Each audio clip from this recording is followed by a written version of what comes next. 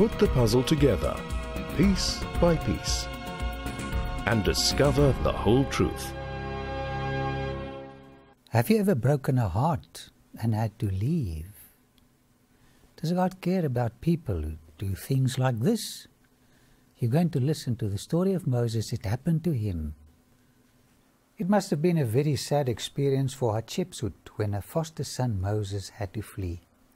From now on, she had to manage the Egyptian throne without the assistance of Moses. From the year 1488, all correspondence concerning Hatshepsut ceased. This was two years after Moses fled to Midian, which is another name for Sinai. I was curious about this strange phenomenon and started to do some research. Now, the first queen of the 18th dynasty, Ahmose Nefertari, adopted the title Wife of the god Amun. When Hatshepsut came to the throne in 1504 BC, she did not accept the title Wife of God but rejected it. Question Did she accept the Hebrew religion of monotheism through Moses? Is this the reason why all correspondence concerning her ceased in 1488? Amenhotep III started Atenism, a monotheistic religion. His wife Tai also rejected this title, wife of God. This is an indication that she too became a monotheist. You're looking at the bust of Nefertiti in Berlin. She and her husband both became monotheists. Guess what? She also refused the title wife of the god Amun. I would like to think that Moses influenced Hatshepsut to become sympathetic towards the monotheistic religion of the Hebrews. I bring honor to these ancient Egyptian rulers. They had the courage to abandon their polytheistic religion in favor of the pure religion where an unseen creator God was worshipped. Hatshepsut was killed in 1482 BC. Why? One of the main reasons for doing it was religious. If you changed your religion, you signed your death warrant. While Moses was spending the next 40 years of his life in Midian, the Sinai Peninsula, he received bad news his dear foster mother Hatshepsut was murdered.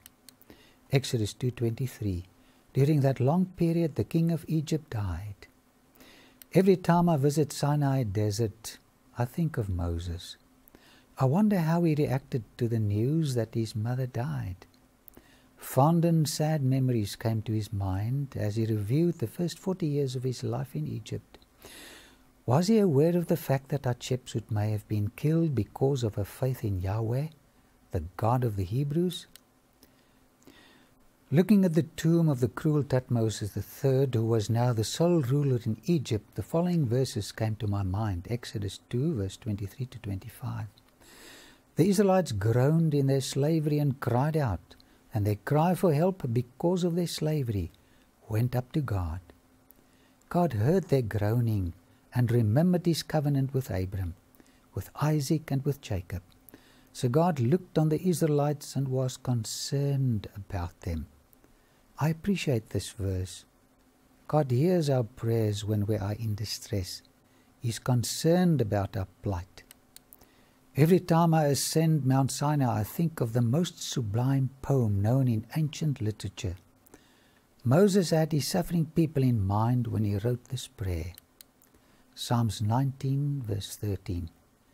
Have compassion on your servants. He was thinking of his suffering brothers in Egypt.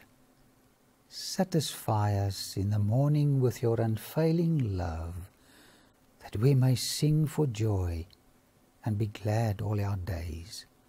Moses was looking forward to the morning of the deliverance of his people from the cruel night of Egyptian bondage. But he also looked forward to another morning when tears and pain will be no more. My friend, you cannot afford to miss the next episode in the life of Moses. There are tremendous messages of hope that God wants us to internalize. If you've made a mess in life, don't despair. God has a plan for people messing up their lives. Don't miss the next episode on the life of Moses and see how God treats sinners like you and me. God bless. Put the puzzle together, piece by piece, and discover the whole truth. Now we're going to talk about the important issue of the mark of the beast and the number of his name. What is meant with this terminology? You will remember that we dealt with the two beasts of Revelation chapter 13 and that we identified the second beast as the United States of America that would implement, according to the scriptures, the mark of the beast. And I saw another beast coming up out of the earth, and it had two horns like a lamb, the lamb like principles, and he spoke like a dragon. Revelation 13:11. Now we've dealt with this in an entire lecture. It exercises all the authority of the first beast, which we identified as Catholicism, before him, and causes the earth and those dwelling in it to worship the first beast whose deadly wound was healed. Revelation 13:12. And we dealt with this issue as well, where we explained that to worship the first beast is to pay it homage in the place of God. So the first beast has a morality and a system of morality and law which will become the norm in the world, enforced by the second beast, the United States of America. And he causes, the second beast, all, both small and great, rich and poor, free and bond, to receive a mark in their right hand or in their forehead, and that no man might buy or sell save he that had the mark or the name of the beast or the number of his name. Revelation 13, 16 to 17. So the second beast will enforce the mark of the beast, and you will not be able to buy or sell if you do not partake in this practice of accepting the mark of the beast. So, what are these issues all about? What is the beast's number? What is his name? What is his mark? Here is wisdom. Let him that has understanding count the number of the beast, for it is the number of a man, and his number is 603 score and six. Revelation 13 8. So, it is the number of a political system. It is the number of a man, and his number is 666. And of course, we had all the attributes of the beast in Revelation chapter 13, which were the same attributes as the little horn power of Daniel chapter 7 that we identified as the papal system. And all the reformers had the same identification. What are the letters transcribed in the Pope's crown? This comes from our Sunday Visitor in 1915. This was the Jesuit mouthpiece of the Roman Catholic Church, and they themselves tell what they believe this to be. What are the letters inscribed in the Pope's crown, and what do they signify, if anything?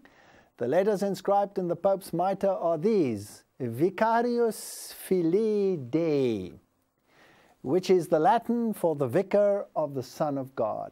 Now, there are some today who deny that these inscriptions actually exist.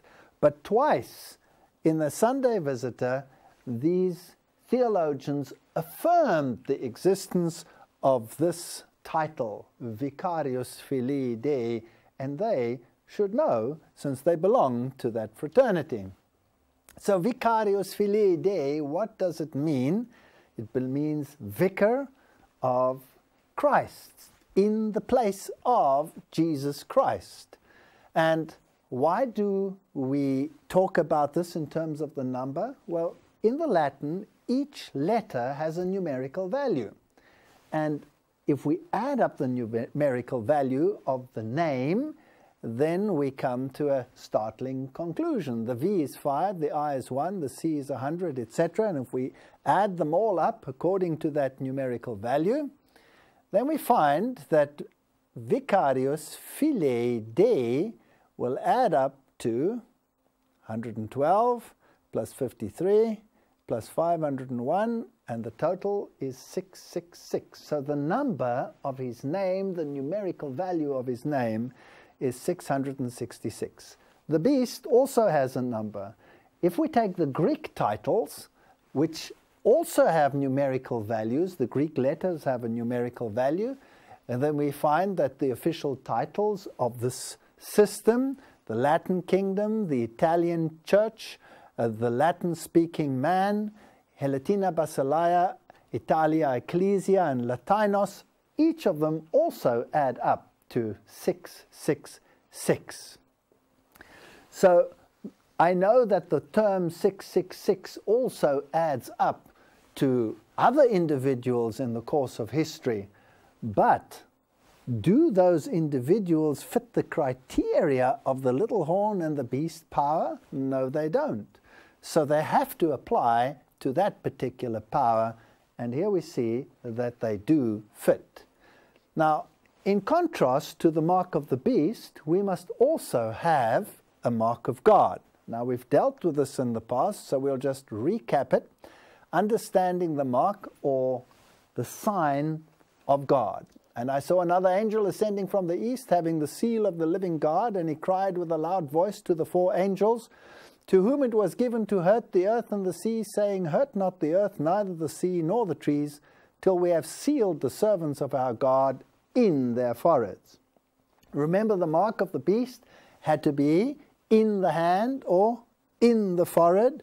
And now we're looking at the contrast, God's side, what has to be in the forehead and in the hand in terms of the mark of God.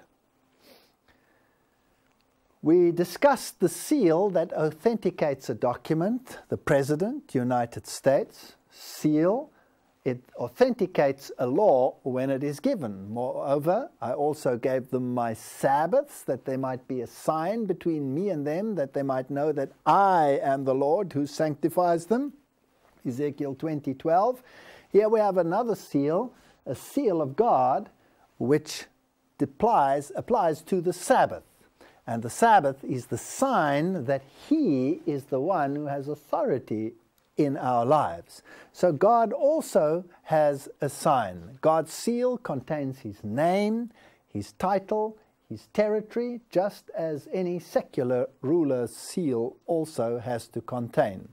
And we find it in the heart of God's law. Remember the Sabbath day to keep it holy. Six days shalt thou labor and do all thy work. But the seventh day is the Sabbath of the Lord thy God. And then it tells you that you should not work or do this and that and the other. For in six days the Lord, name, Yahweh, made, title, creator, heaven, earth, sea, all that in them is, jurisdiction. There is the seal of God. Without it, the law would be invalid. Wherefore the Lord blessed the Sabbath day and hallowed it. So by acknowledging the Sabbath, we acknowledge the lawgiver's authority in our lives. Now, this law was for all, also for the stranger, also the sons of the stranger that join themselves to the Lord to serve him and to love the name of the Lord, to be his servants, every one that keepeth the Sabbath.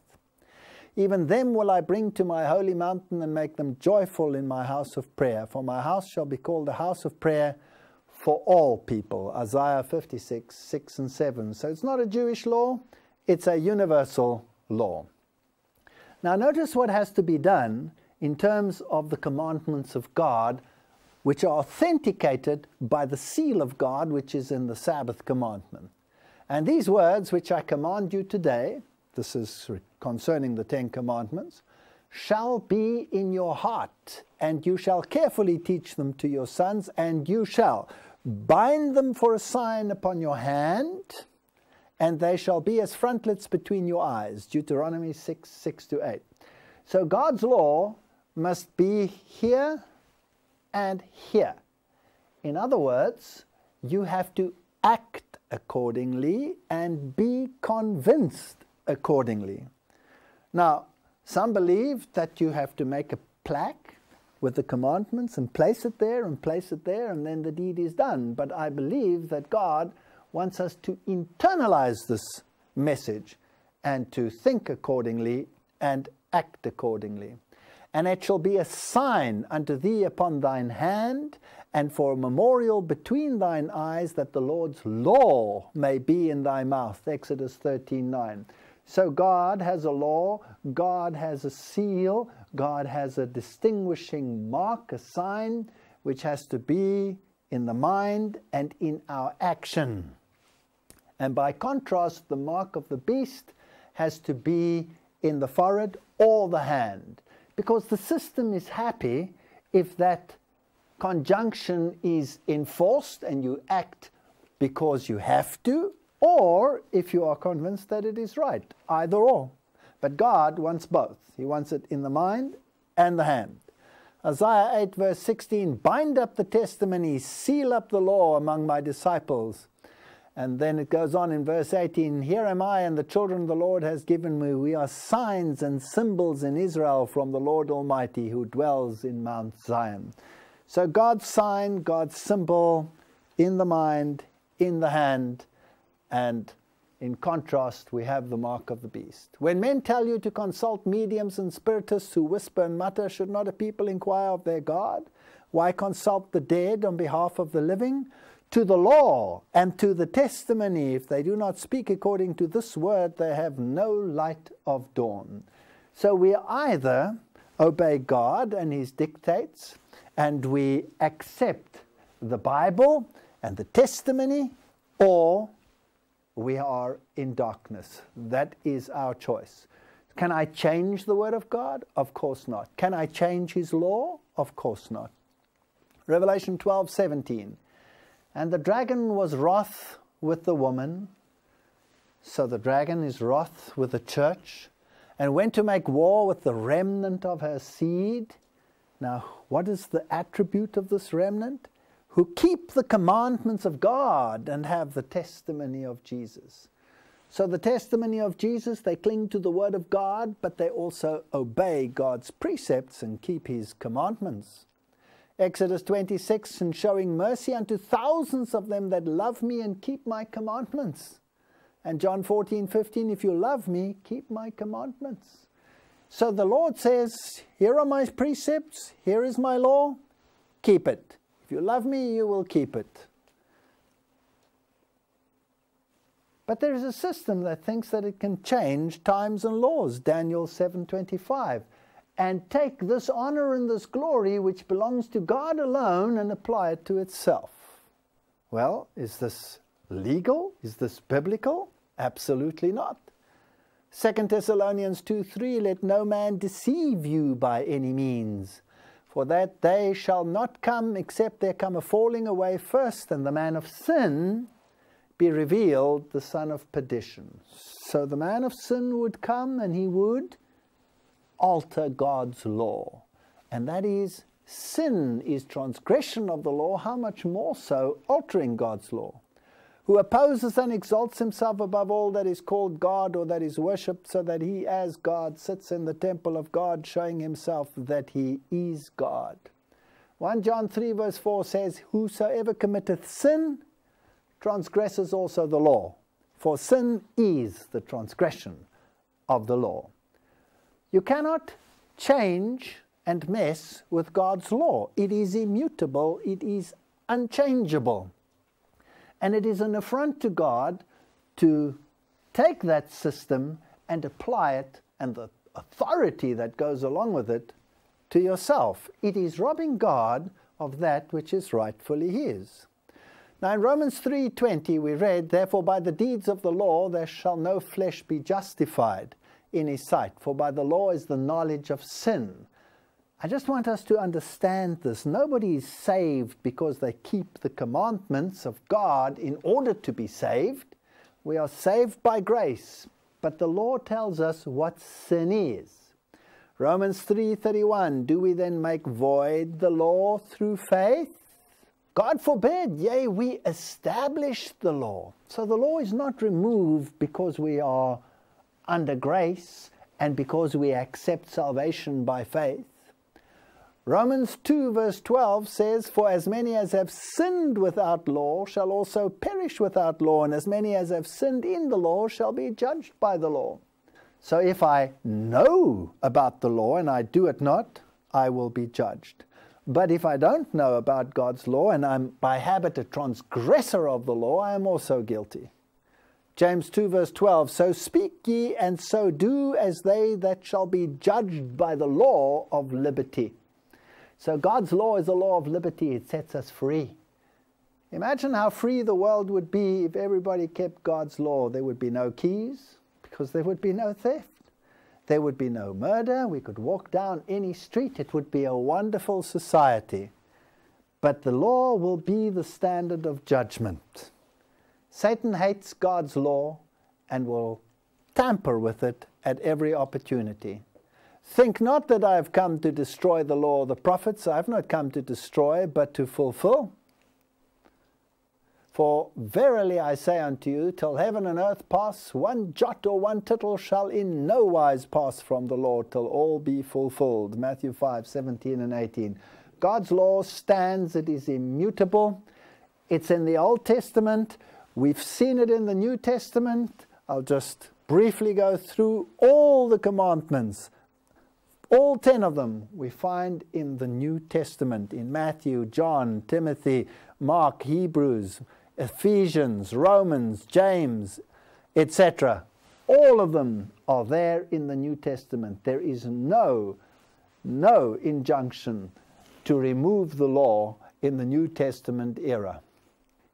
Now, the man of sin takes the law of God and assumes the power of changing the law of God. That is the definition of sin. To transgress God's law, how much more so to change it? The Roman Decretalia state he can pronounce sentences and judgments in contradictions to the rights of nations, to the law of God and man. He can free himself from the commands of the apostles, he being their superior, and from the rules of the Old Testament.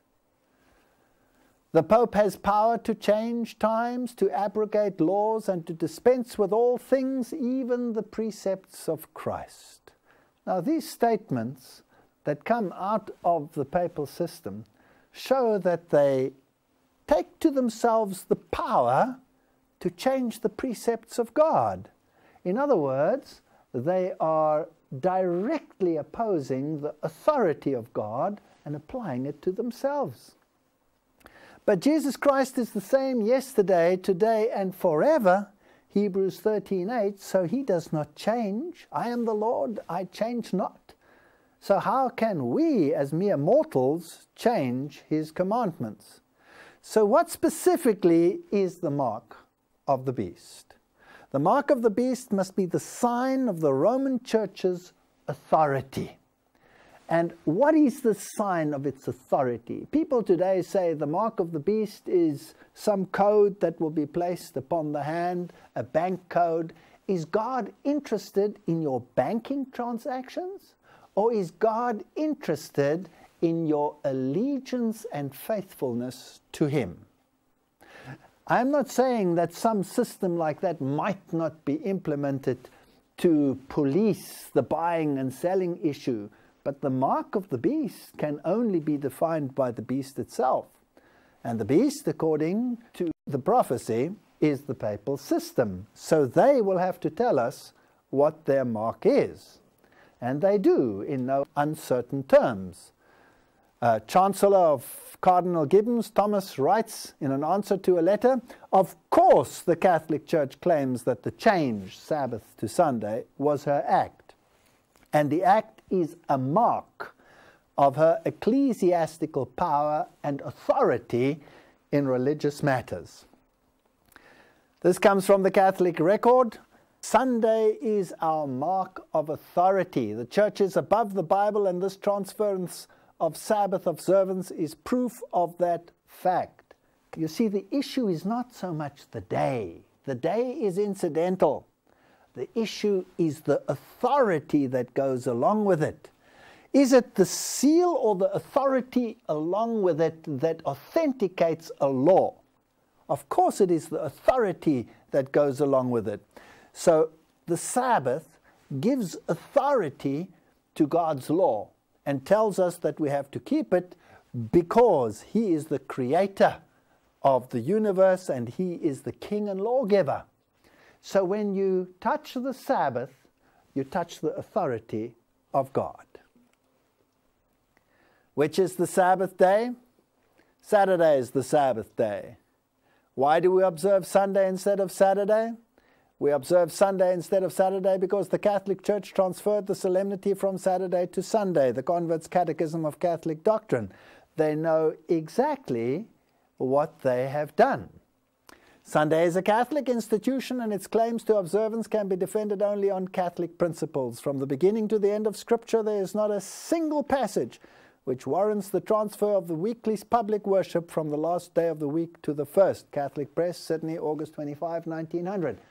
They know. This is not ignorance, this is with absolute knowledge. Not the creator of the universe in Genesis 2 1 to 3, but the Catholic Church can claim the honor of having granted man a pause to his work every seven days. Another Roman Catholic source.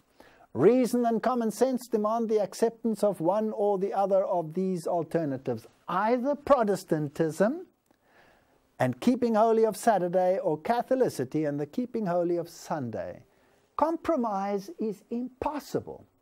So, in other words, the world will be brought to a point where they will have to choose between the authority of God and keeping the Sabbath or the authority of the church and keeping the Sunday. Nobody now has the mark of the beast until this is implemented by law. Sunday is founded not on scripture but on tradition and is distinctly a Catholic institution, Catholic record. The New Testament makes no explicit mention that the apostles changed the day of worship, but we know it from tradition. The New Revised Baltimore Catechism of 1949. So tradition now becomes the lens through which doctrine is determined and not the Word of God. But the Bible says that that is invalid. But he answered and said to them, Why do you also transgress the commandment of God by your tradition? And you voided the commandment of God by your tradition? But in vain they worship me, teaching for doctrines the commandments of men. In 2003, on ImmaculateHeart.com, Rome reissued its challenge. Most Christians assume that Sunday is the biblically approved day of worship.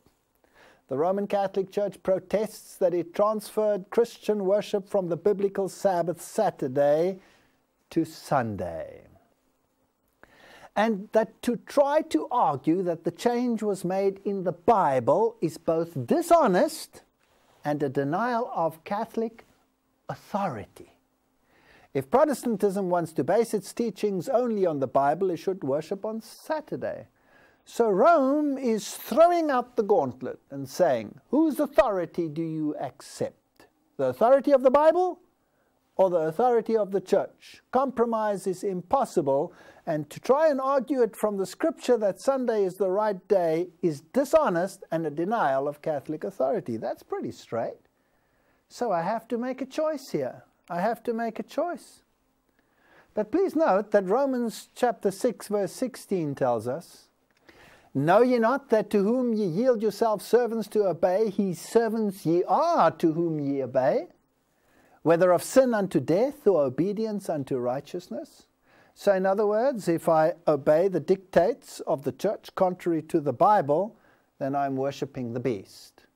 If I obey the biblical injunction, injunction I am worshipping God. So the choice is mine.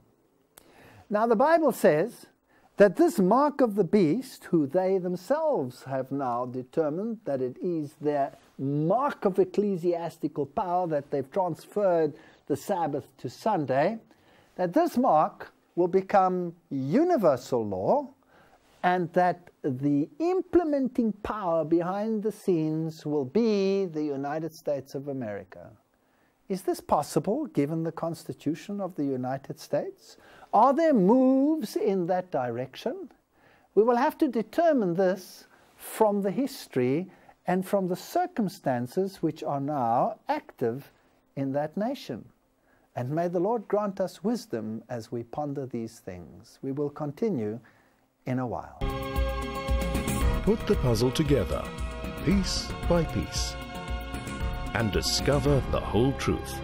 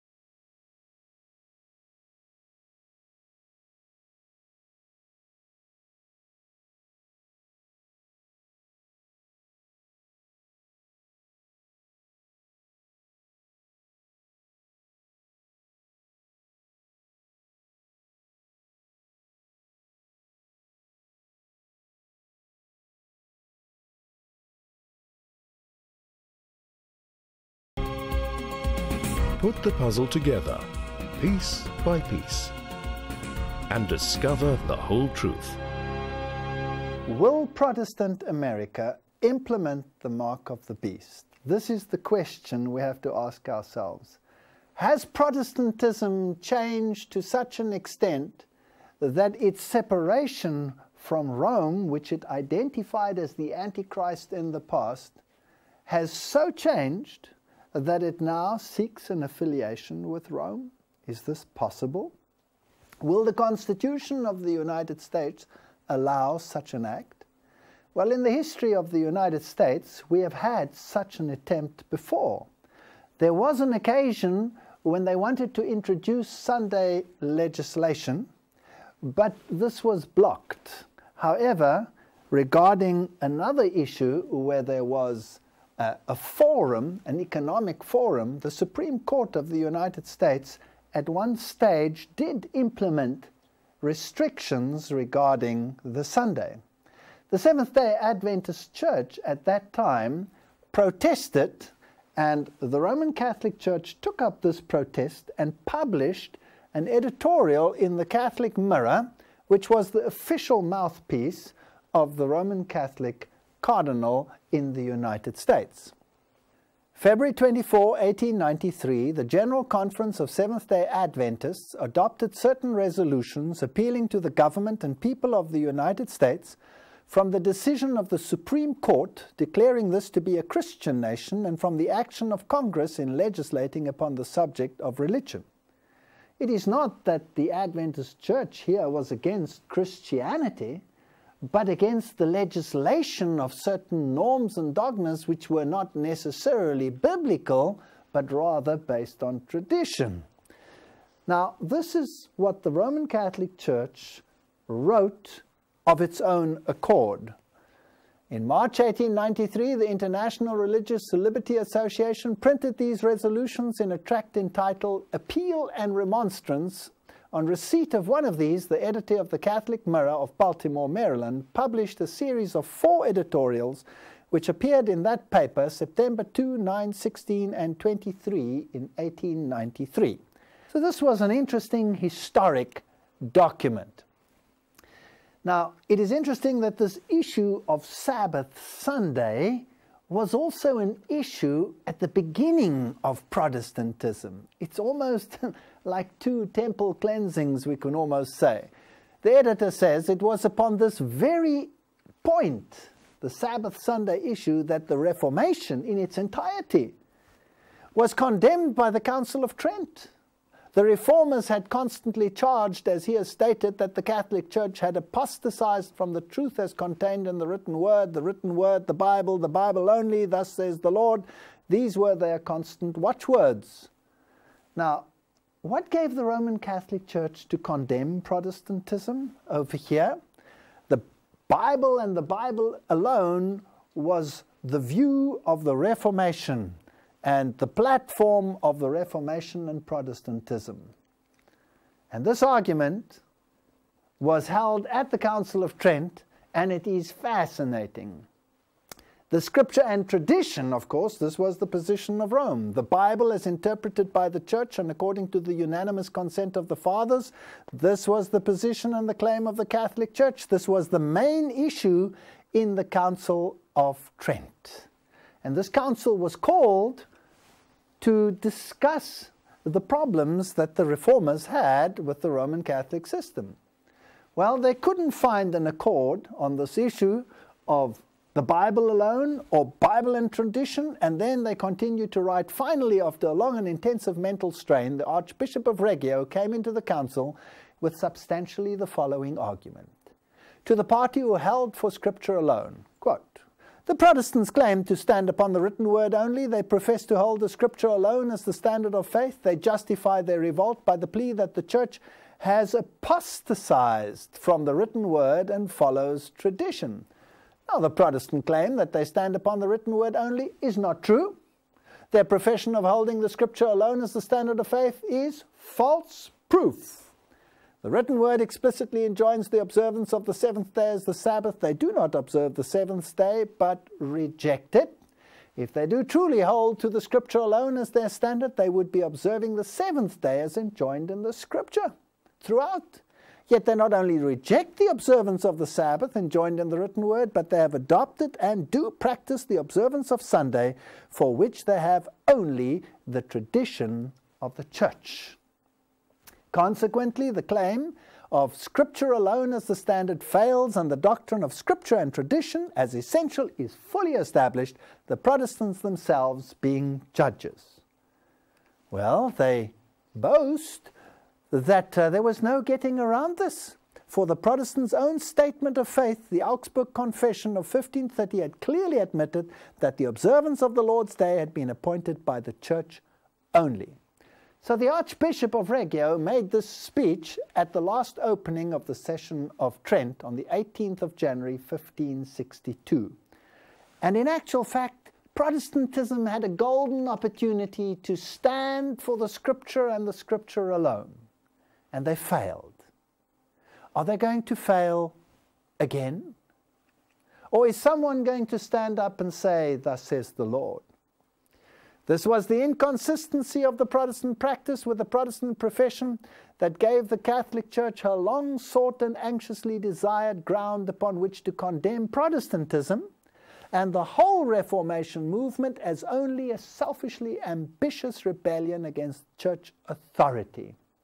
Now, notice that they say, and this is the vital controversy, the key, the chiefest, the culminant expression of the Protestant inconsistency was in the rejection of the Sabbath of the Lord, the seventh day enjoined in the Scripture, and the adoption and observance of Sunday as enjoined by the Catholic Church. So they say, You are accepting our authority. And they claim that this is the vital issue upon which the Catholic Church arraigns Protestantism. What will these Protestants do? Now, the Bible says that Protestant America will implement the mark of the beast, and all the world wondered after the beast. Revelation 13:3. Now, is Rome pushing for Sunday legislation, and will America enforce and follow suit? That is the question we have to ask. Now, we can only look at the change of circumstance and environment and political and religious atmosphere that prevails in the world today, and we can draw our conclusions from reading between the lines. Pope John Paul II launched the crusade to save Sunday and put it back onto the agenda. This comes from the Sunday Times London in 1998. It says down there, make it clear that Sunday must not be worked, since it must be celebrated as our Lord's Day. He wrote an apostolic letter, and in it he expounded as to why we have to keep Sunday. The apostolic letter, Dies Domini of the Holy Father, John Paul II, to the bishops, clergy, and faithful of the Catholic Church on keeping the Lord's Day holy. And this was May 7, 1998. Now, let's just go through some of the features of this document. He calls Sunday the primordial feast day, revealing the meaning of time. He admits that it is based on tradition and therefore not scripture. And he states that the Sunday celebration of the Lord's Day and his Eucharist is at the heart of the church's life. So the church, as its heart, has Sunday keeping. As they listened to the word proclaimed in the Sunday assembly, the faithful looked to the Virgin Mary, learning from her to keep it and ponder it. Now, my Bible tells me to look to the Lord Jesus Christ. So here we have a dichotomy, and I have to choose. Am I going to follow the stream of authority of the Roman Church, or am I going to follow the authority of God? From Sunday to Sunday, the pilgrim people follow in the footsteps of Mary and her maternal intercession gives special power and fervor to the prayer which rises from the church to the most holy Trinity. The Bible knows nothing about an intercession of Mary, it only knows of one mediator between man and God, the man Christ Jesus. And so, to me, as a Protestant, this would be totally invalid. The day of rest, he admits it is the day of the sun, his own inverted commas. It would therefore be wrong to see in this legislation of the rhythm of the week, which the Church applied in the past, a mere historical circumstance with no special significance for the Church, in which he could simply set aside. Even after the fall of the empire, the councils did not cease to insist upon the arrangements regarding Sunday rest. So, is he applying for some pressure to implement Sunday again? When through the centuries she had made laws concerning Sunday rest, she had the workers in mind. This is interesting. So we can bring in Sunday legislation even in non Sunday keeping countries by bringing it in through the door of the workers' plight. A day of rest, a family day. It doesn't matter in which form it comes, if it becomes a legal obligation and it requires the negating or the leaving aside of the biblical Sabbath, then I have to choose between the mark of the beast and the mark of God. Therefore, also in the particular circumstances of our time, Christians will naturally strive to ensure that civil legislation respects their duty to keep Sunday holy. So he's asking Christians, Christian nations, therefore, to implement legislation to observe Sunday. It is interesting that at the same time period, they also brought out a document concerning church laws where certain norms were inserted into the Code of Canon Laws. This document was called Ad Tuendum Fidem. And in this document, he calls those that differ with the church and do not want to listen to the doctrinal position of the church as heretics, something that the church hasn't done for a long time. We read that Canon 1436 one must now read whoever denies and places in doubt any truth that must be believed with divine and Catholic faith or repudiates the Christian faith as a whole and does not come to his senses after having been legitimately warned is to be punished as a heretic. Now that's fascinating. Fascinating. Aside from such cases, whoever rejects a doctrine proposed as definitively to be held, and they just defined that Sunday was the heart of the church's teaching, by the Roman pontiff or the college bishop exercises their authentic magisterium, or else accepts a doctrine condemned by them as erroneous, and does not come to his senses after having been legitimately warned, is to be punished by an appropriate penalty. This is fascinating. So we have heresy, and punishment. It seems we are moving back into the Middle Age milieu. We order that everything decreed by us with a capital letter in this apostolic letter be firm and instated, given in the 20th year of our pontificate. Here is a power that is assuming a power which is not biblical, given by us in our pontifical. God said, Let us make man in our image. They're taking the same authority and the same power and applying it to themselves. Now, could they be perhaps a little bit more specific and say which part is the heretic part really associated with? Well, the Detroit News reported on July 7, 1998, that Pope John Paul II said, A person who violates the sanctity of Sunday is to be punished as a heretic. So here the Roman Catholic Church asks for this issue to be prominent in the minds of men.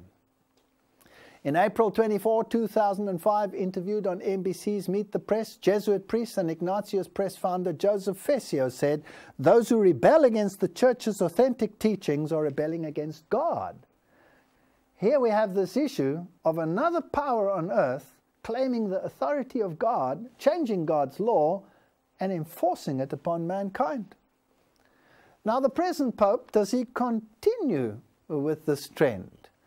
Well, on Sunday Mass, Catholic Online reported that he claimed we can't live without it, he tells a crowd at Angelus. Sunday Mass is not an imposition but a joy and a need for Catholics, said Benedict.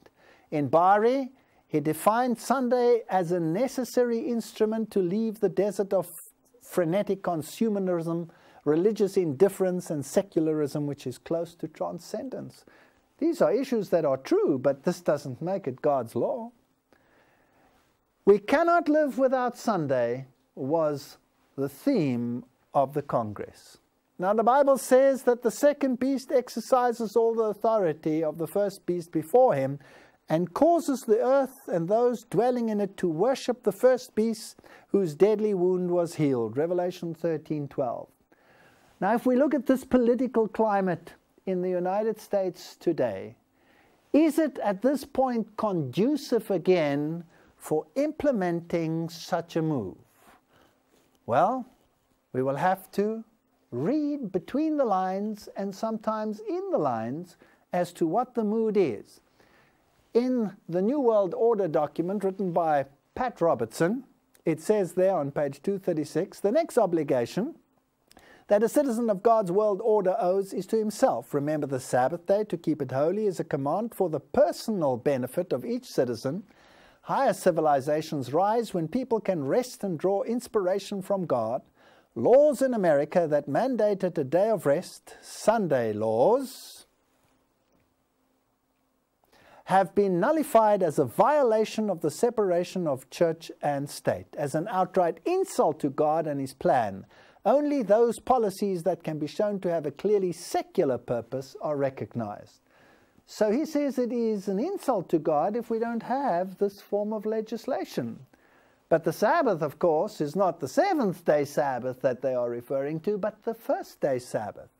Time magazine, August 2, 2004. On the seventh day we rested, but please note that the seventh day there is the Sunday and not the Saturday. So when they talk about the Sabbath, they're not talking about Saturday, they're talking about Sunday. In that article, in August 2, 2004, uh, Nancy Gibbs writes, If your soul has no Sunday, it becomes an orphan, Albert Schweitzer said, which raises a question for these times. What is lost if Sunday becomes just like an, any other day? With progress, of course, comes backlash from those who desperately want to preserve the old ways.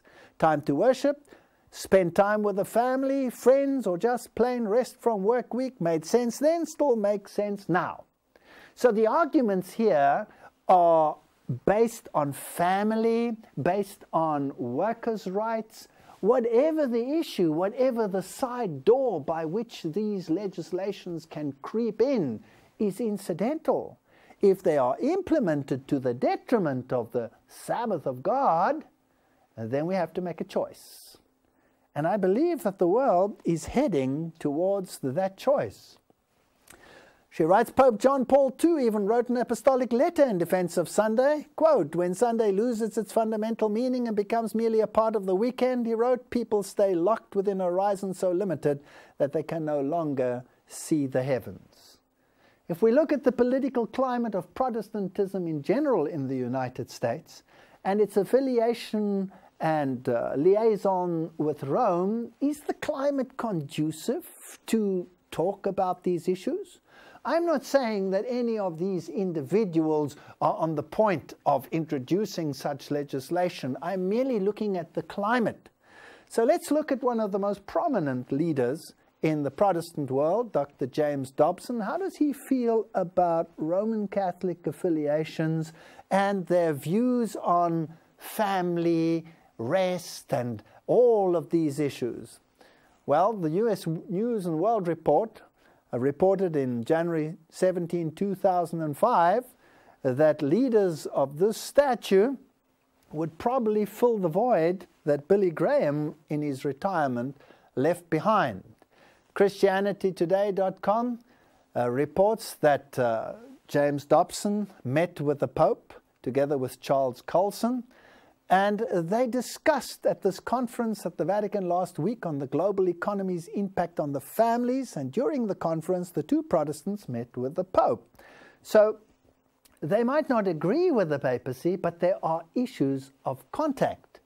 Dobson later told Catholic News Service that though he had theological differences with Roman Catholicism, when it comes to the family, there is far more agreement than disagreement, and with regard to moral issues from abortion to premarital sex, safe sex ideology, and homosexuality, I find more in common with Catholics than with some of my evangelical brothers and sisters.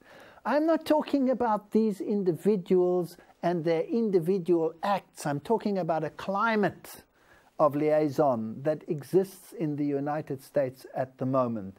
There is this affiliation, even though there might still be doctrinal differences, when it comes to the issues of morality, when it comes to the issues of the family, then of course they are in agreement.